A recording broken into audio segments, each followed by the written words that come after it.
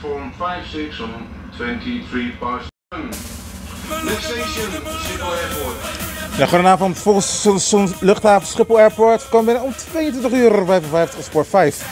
Dus voor degene dat wil, kan nog heel snel voor de, sprinter in de richting van Amsterdam Centraal. 11 uur precies op spoor 1 of 2.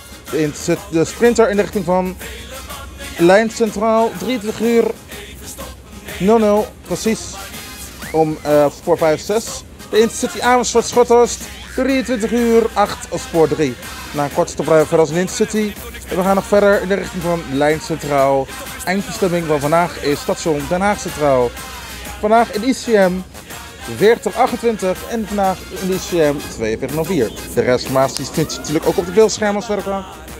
Het is nu 23 uur 53. Dat betekent dat we met twee minuten ongeveer binnen gaan komen op station Luchthaven Schiphol Airport. U bevindt zich in de Intercity naar Den Haag Centraal. Dit is zo station Schiphol Airport.